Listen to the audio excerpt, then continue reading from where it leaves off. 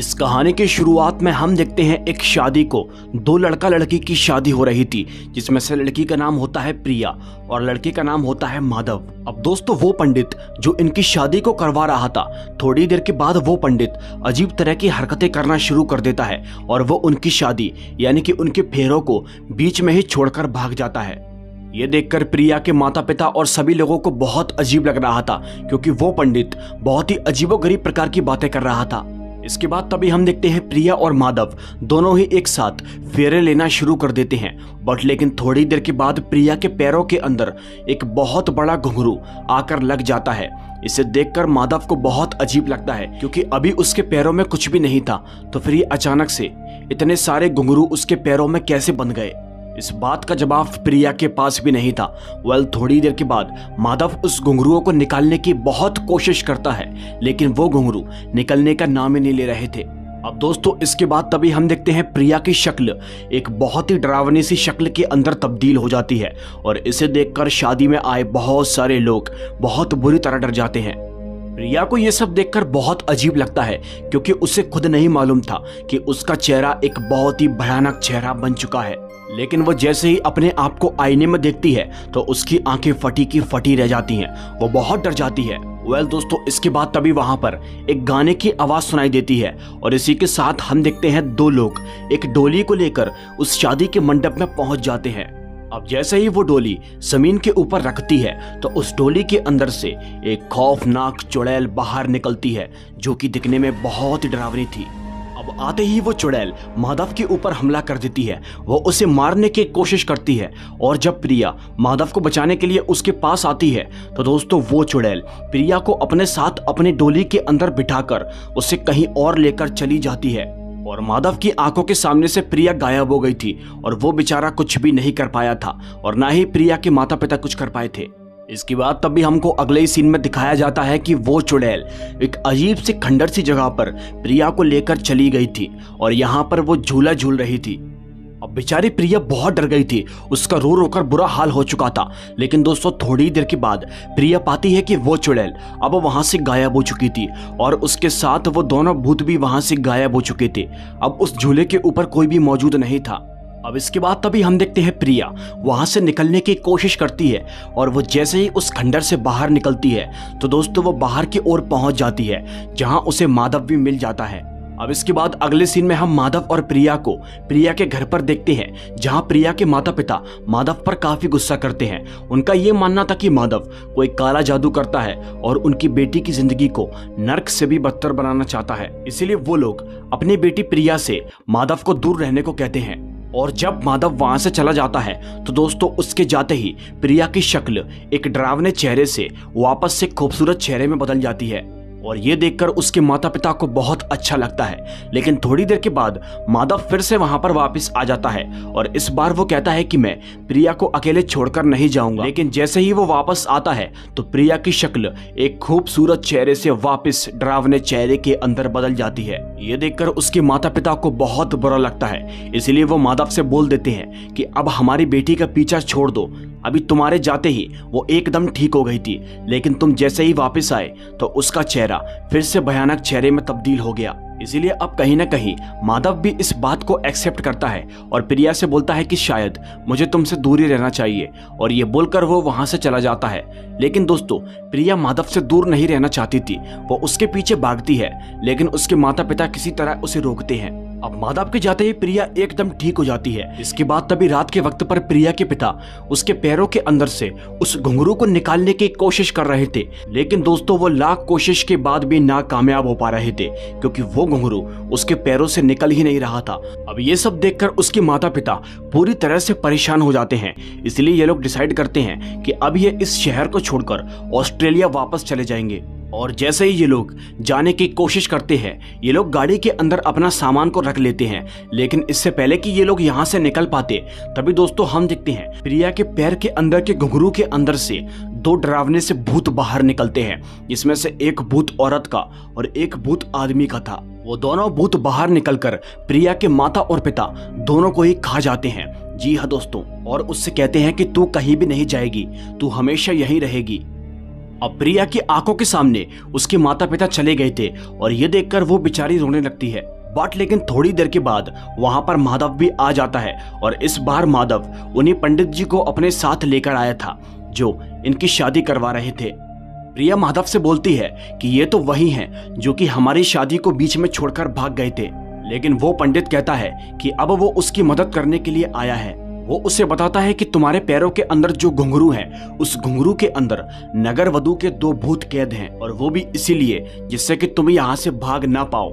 पंडित जी इन दोनों की मदद करने को तैयार हो जाते हैं। इसके बाद तभी ये लोग घर के अंदर जाते हैं और पंडित जी घर के अंदर कुछ खाने के सामान उन भूतों के आगे रख देते हैं। अब इसके बाद पंडित जी उन भूतों से बोलते हैं कि आओ और अपना भोजन ग्रहण करो। इसके बाद इन लोगों को छोड़ दो। थोड़ी देर के बाद प्रिया के घुंघरुओं के अंदर से वो दोनों भूत बाहर निकलते हैं और भोजन को ग्रहण करते हैं। लेकिन दोस्तों वो वापस से उसके घुंघरुओं के अंदर चले जाते हैं। वो उसका पीछा नहीं छोड़ते। और ये सब देखकर पंडित जी को और बाकी सब लोगों को बहुत अजीब लगता है। फिर तभी थोड़ी देर के बाद हम देखते हैं, प्रिया के पैरों के ऊपर, उसका काबू खत्म हो चुका था। प्रिया अपने आप ही बाहर की ओर निकलना शुरू कर देती है। हालाँकि माधव उसे रोकने की बहुत कोशिश करता है, लेकिन वो बेचारा काफ़ी कोशिशों के बाद भी उसे रोक नहीं पा रहा था। उसके पैर अपने आप ही चल रहे थे। इसी बीच वो घर से बाहर निकल जाती है और चलते चलते वो एक महल के पास पहुँच जाती है। इसके बाद वो जैसे ही उस महल के अंदर जाती है तो वो पाती है कि वो पूरा महल बाहर से देखने में जितना सुंदर था, अंदर से उतना ही डरावना था। इसी के साथ अंदर जाकर उसे किसी औरत के रोने की आवाज़ सुनाई देती है। अब प्रिया उस आवाज़ का पीछा करते हुए जाती है तो वो पाती है कि एक नई नवेली दुल्हन फूट फूट कर रो रही थी और उसके पास बहुत सारे लोग थे। अब दोस्तों, वो दुल्हन इसीलिए रो रही थी क्योंकि नगर वधु ने उसके पति को जान से मारकर दीवारों के अंदर चुनवा दिया था। अब आप लोग ये सोच रहे होंगे कि आखिर ये नगर वधु कौन है? तो दोस्तों, नगर वधु कोई और नहीं, बल्कि वही चुड़ैल है, जो शुरुआत में प्रिया को किडनैप करके ले आई थी। अब प्रिया वहाँ पहुंचकर सभी लोगों से पूछती है कि आखिर ये नगर वधु कौन है?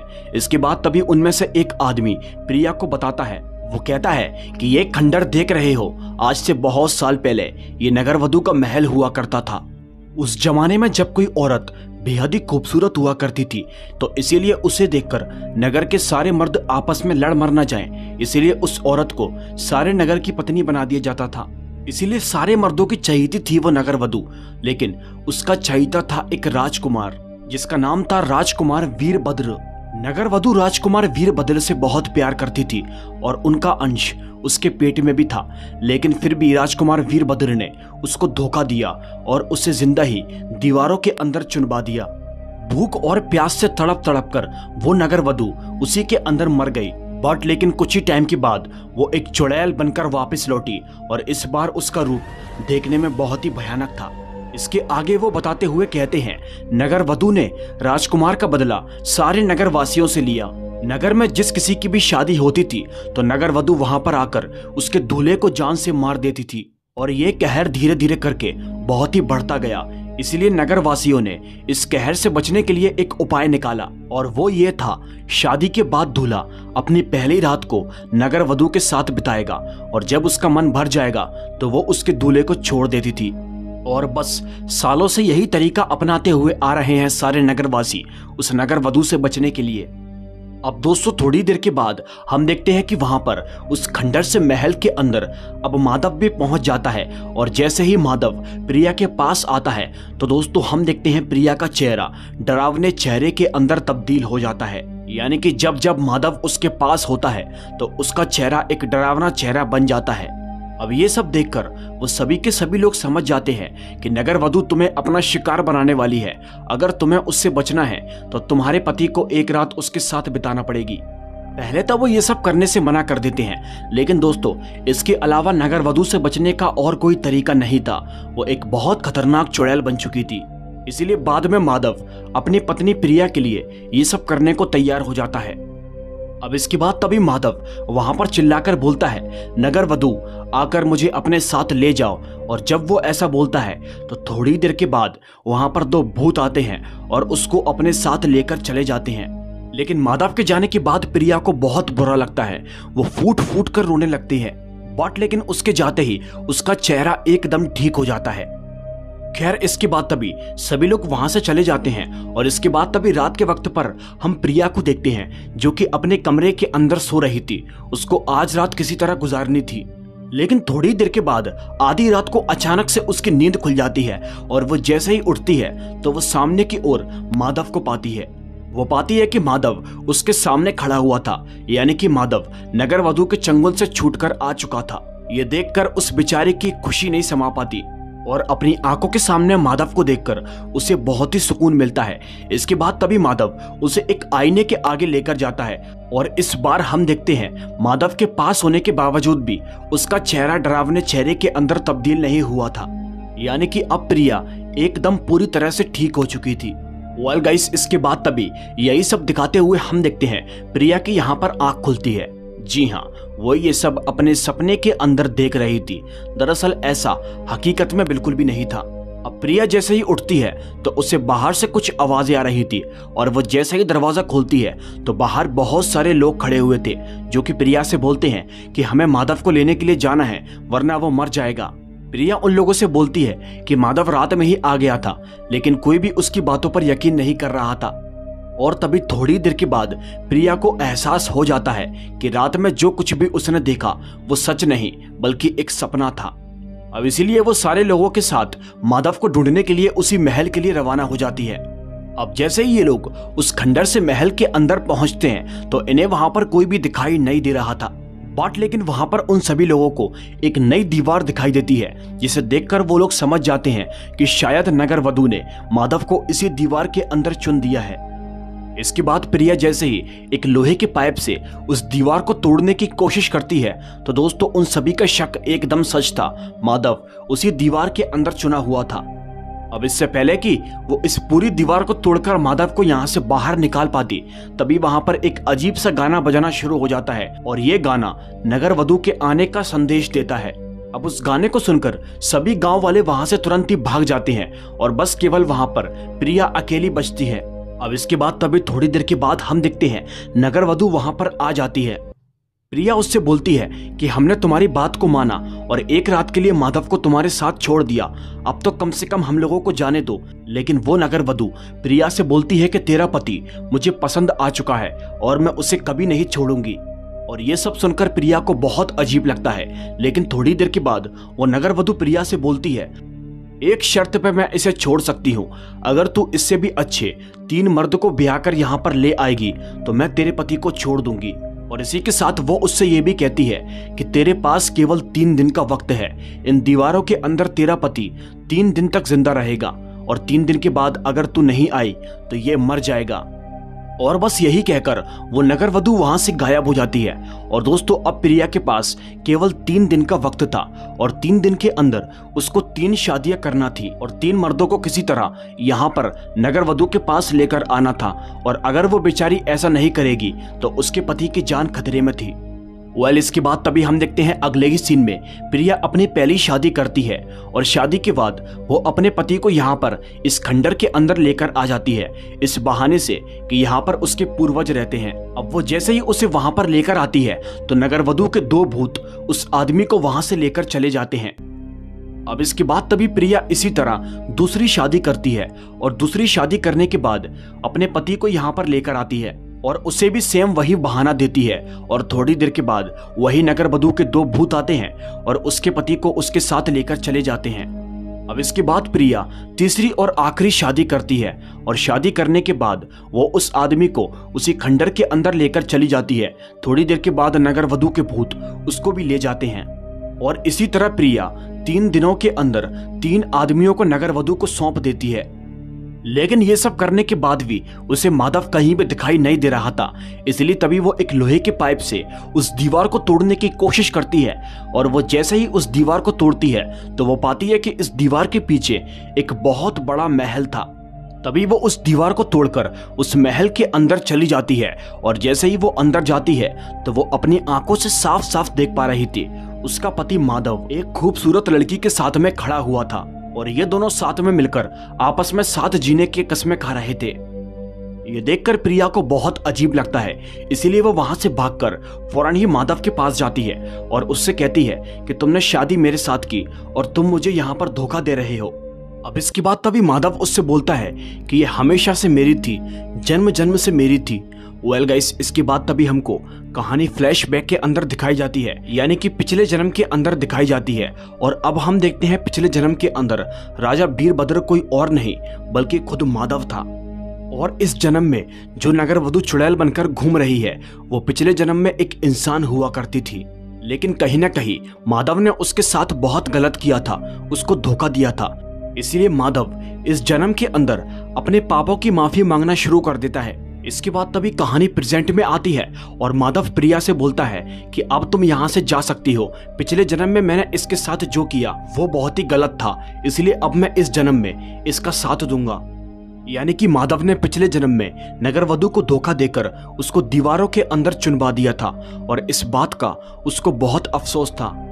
इसलिए अब वो इस जन्म की पूरी ज़िंदगी उसके साथ ही बिताने का फैसला करता है। जब ये सब प्रिया सुनती है तो ये सब उसे सुनकर बहुत अजीब लगता है। बट लेकिन थोड़ी देर के बाद वो नगर वधु माधव से बोलती है, आखिर इसे हम कैसे जाने दे सकते हैं? क्योंकि यही तो वो लड़की है, जिसकी वजह से मेरे राजा वीरभद्र ने मुझको धोखा दिया था। वेल well गाइस इसके बाद तभी हमको कहानी फिर से फ्लैशबैक के अंदर दिखाई जाती है, और अब हमको पता चलता है, पिछले जन्म में प्रिया राजा वीरभद्र की पत्नी हुआ करती थी। और ये बात उसे बिल्कुल भी पसंद नहीं थी कि एक नगर वधु उसके राजकुमार को पसंद करती है। इसलिए एक बार उसने राजा वीरभद्र को यह आदेश दिया कि वो उस नगर वधु को दीवारों के अंदर चुनवा दे और इसी के साथ उसने ये धमकी भी दी थी कि अगर राजा ने ऐसा नहीं किया तो वह अपनी जान दे देगी। इसलिए मजबूरी में आकर राजा वीरभद्र ने उस नगर वधु को दीवारों के अंदर चुनवा दिया। अब दोस्तों कहीं ना कहीं देखा जाए तो उस नगर वधु का गुनेगार राजा वीरभद्र नहीं, बल्कि प्रिया है, जो कि पिछले जन्म में राजा की पत्नी हुआ करती थी। अब इसीलिए वो चुड़ैल, वो नगर वधु प्रिया से अपना बदला लेना चाहती थी, वो भी इस जन्म में। वो प्रिया से कहती है कि तुझे बहुत नफरत थी एक नगर वधु से।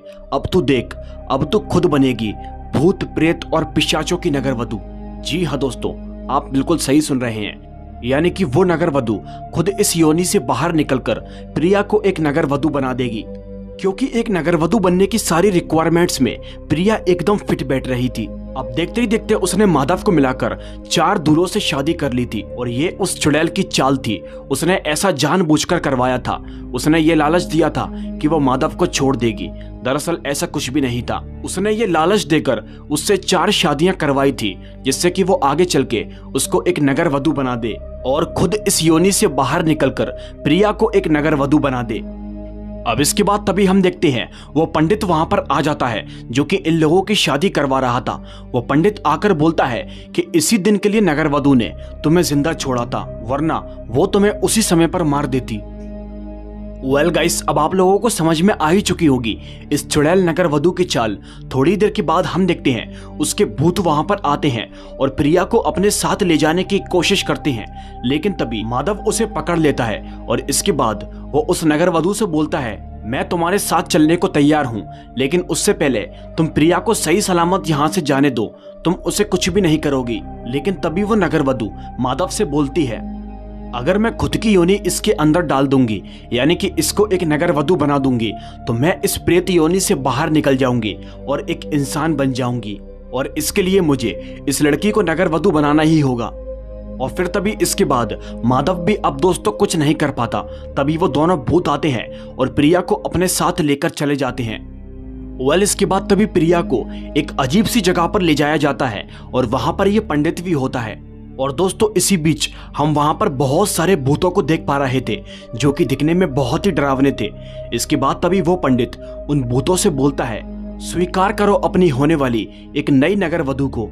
अब इसके बाद तभी थोड़ी देर के बाद हम देखते हैं कि वो चुड़ैल भी वहाँ पर आ जाती है और प्रिया से बोलती है, नगर वधु बनने से पहले मैं तुम्हारी एक इच्छा को पूरी करूँगी। और तभी वो उससे कहती है कि, अपनी एक इच्छा मांग लो। फिर इसके बाद तभी प्रिया उससे कहती है, मेरी आखिरी इच्छा ये है कि आज रात जो मेरी सेहत सजाए, वो हर रात मेरी सेहत सजाए। और जब वो ऐसा बोलती है तो वो चुड़ैल उसकी ये इच्छा पूरी करने को तैयार हो जाती है। इसके बाद वो उससे कहती है कि किसी एक भूत को चुन लो। और इसके बाद जब वो एक भूत को चुनने के लिए जा रही थी तो ये सब देखकर माधव को बहुत बुरा लगता है। क्योंकि दोस्तों, माधव ने पिछले जन्म में नगर वधु के साथ किया, वो बिल्कुल भी ठीक नहीं था। लेकिन इस जन्म में माधव प्रिया के साथ जो कर रहा था, ठीक तो वो भी नहीं था। और कहीं ना कहीं देखा जाए तो उसने पिछले जन्म में नगर वधु को धोखा दिया और वो इस जन्म में प्रिया को धोखा देने जा रहा था। फिर तभी वो वहाँ पर से एक छुरी को उठाता है और उससे अपनी खुद की बलि दे देता है, यानी कि माधव खुद की जान ले लेता है। क्योंकि प्रिया को एक भूत चुनना था और इसलिए माधव खुद की जान लेकर एक भूत बन जाता है, यानी कि एक आत्मा बन जाता है और इसके बाद वो प्रिया के करीब जाता है और तभी प्रिया उसे ही चुन लेती है। क्योंकि उसके पास यही एक रास्ता था प्रिया को अपना बनाने का, क्योंकि जीते जी वो नगर वधु, प्रिया के पास उसे जाने ही नहीं देती। इसलिए उसने खुद की जान को देकर मरने के बाद प्रिया को अपना बना लिया। और जब वो दोनों एक साथ हो जाते हैं तो इसके बाद हम देखते हैं वो चुड़ैल, वो नगर वधु, वहाँ से गायब हो जाती है। और इसके बाद तभी मरने के बाद ही सही माधव ने प्रिया को पा लिया, और प्रिया ने माधव को